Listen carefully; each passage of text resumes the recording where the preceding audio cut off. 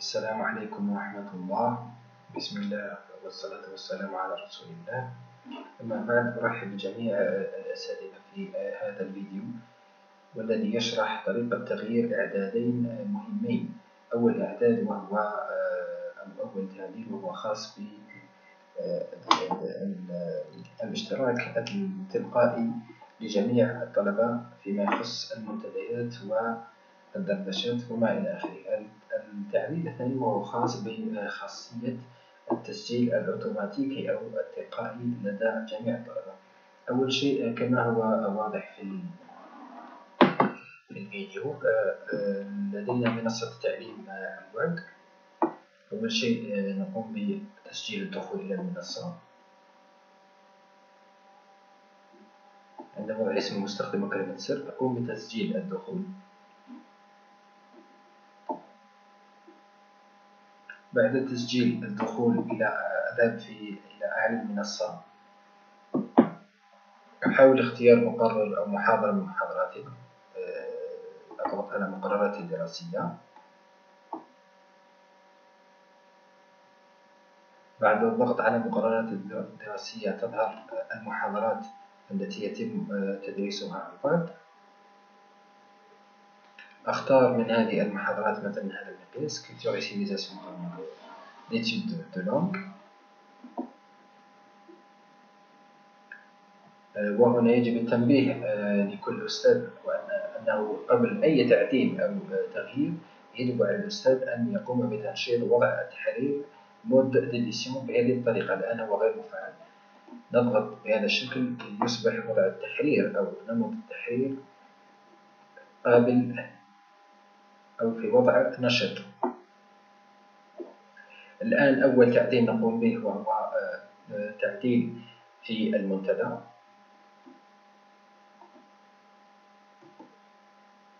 أضغط هنا على آه، أول تعديل وهو تعديل المنتدى تغيير الإعدادات. هنا أفضل طريقة أنه كل في كل مقياس أو في كل محاضرة على الأستاذ أن يقوم بتغيير الاشتراك وأن يضع الاشتراك تلقائي كما هو الحال في هذه المحاضرة. الاشتراك والتعقب يعني في البداية هنا آه، آه، في بداية هذا المنتدى هنالك عدة تعديلات أنا أختار الاشتراك والتعقب الاشتراك والتعقب أجد عدة اختيارات للاشتراك. اشتراك اختياري مفروض تلقائي معدل أفضلها اشتراك تلقائي. تعقب القراءة اختياري. بعد حفظ أو تغيير هذه الإعدادات يجب حفظ هذا التغيير أو هذا التعديل. أضغط هنا على حفظ ومعاينة بهذا الشكل.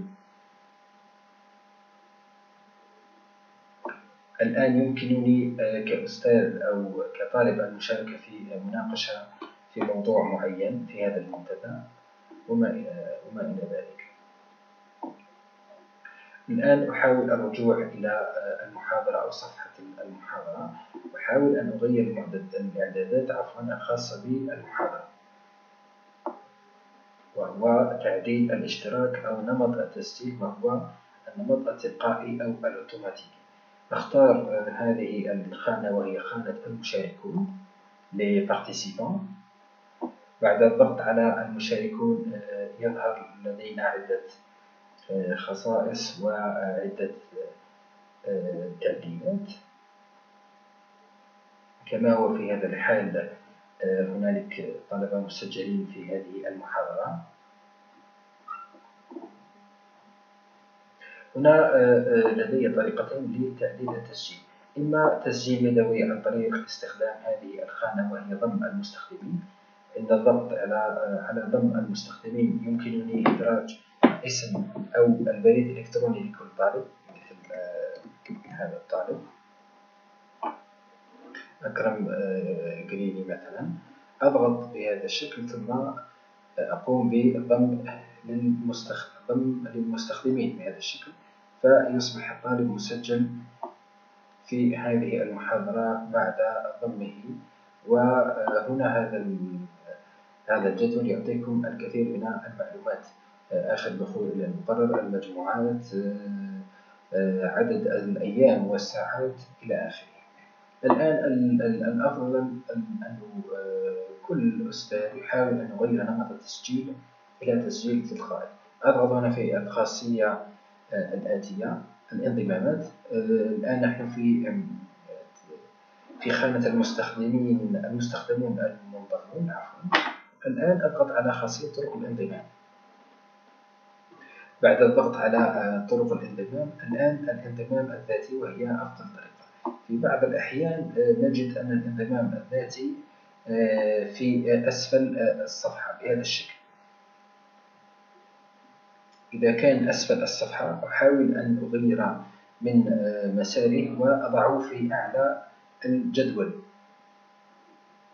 الآن في هذه الحالة الانضمام أو التسجيل هو تسجيل ذاتي. بعد آه، بعد تعديل آه، النمط أو طريقة التسجيل أضغط هنا على هذه الأسهم. إذا كانت أسفل الجدول فأحاول أن أقوم بنقلها من أسفل إلى أعلى حتى يمكن يمكن الطالب أن يسجل في المحاضرة.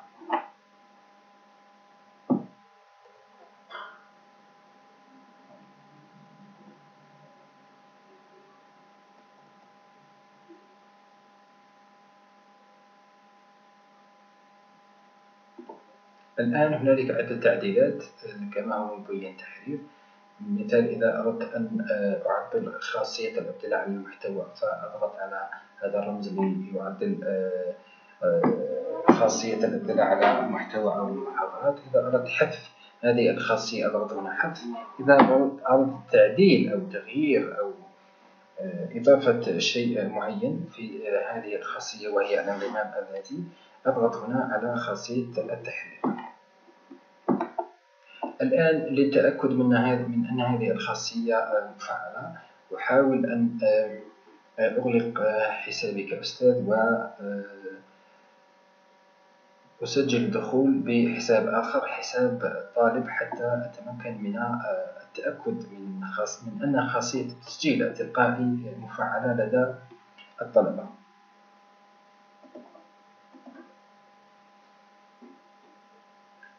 الآن أحاول الدخول بحساب آخر. أختار المحاضرات. بعد الاختيار أو اختيار المحاضرات أحاول أن أختار الكلية. بعد اختيار الكلية أختار القسم. في هذه الحالة سأختار قسم اللغة الفرنسية السداسي الأول. وأحاول أن أختار المقياس الذي آه، قمنا بتعديله قبل قليل.